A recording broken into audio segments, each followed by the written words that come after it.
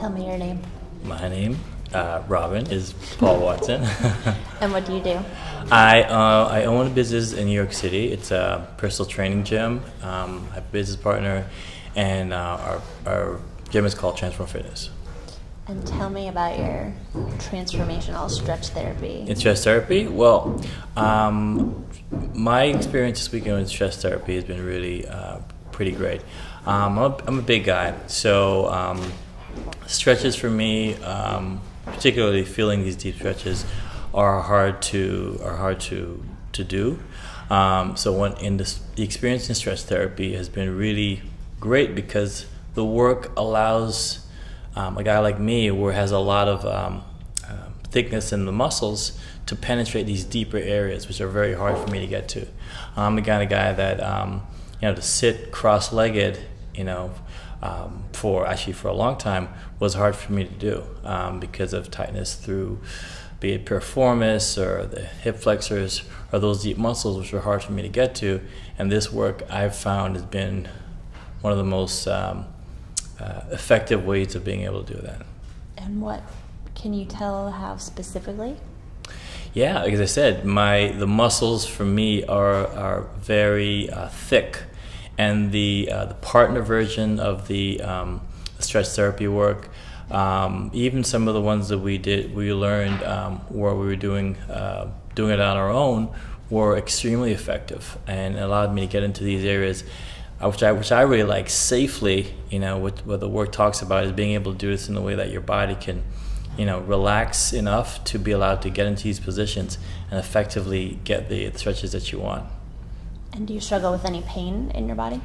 um, right now, I don't really have a lot of pain, um, but you know, doing this workout, uh, doing this uh, therapy um, uh, this weekend, I really found out, you know, more uh, accurately where are the areas for me that are that are tightest and locked up. For me, it was through my calves, my lats, and I think that's the hardest thing for a lot of people because you know, with our with our clients.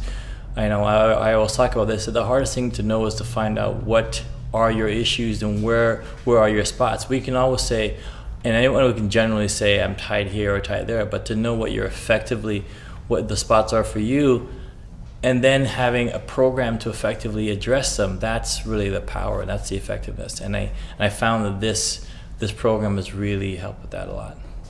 And what did you feel like you were able to carry over from the first weekend to going back to work in New York?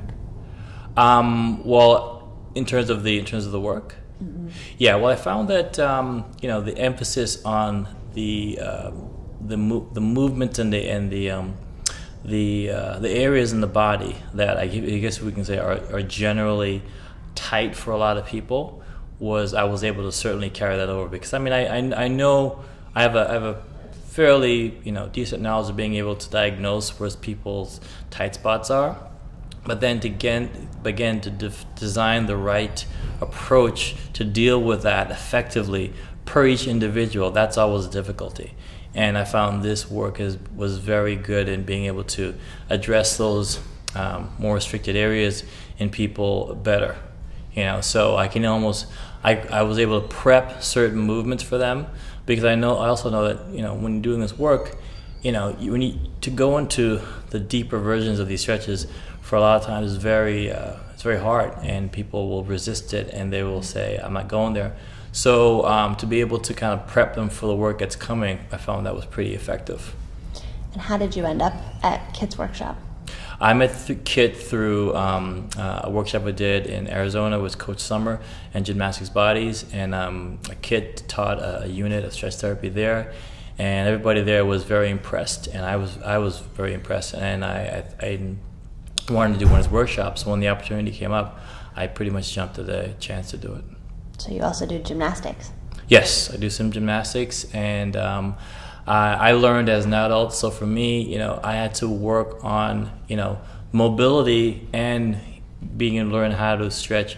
Uh, the deeper areas of my body that were restricting me was even more important, you know, because when you're younger and you learn these things, your body, your strength to flexibility ratios are much better and they're, they're easier to manipulate. When you're older and you have all these patterns and all these overused patterns that have been so you know, layered and old and, and old patterns of movement, it's harder to get to them. So that again kind of goes back to what I was saying about the deepness of, of it because it's not just in reference to the muscle, but actually also the, the old grooved patterns of movement that um, you, you've been um, accommodating or acclimated to over the years. So this work kind of really helps to kind of get into that and, and um, in a sense, re, uh, reposition it or uh, realign it. Maybe it's one word to look at it.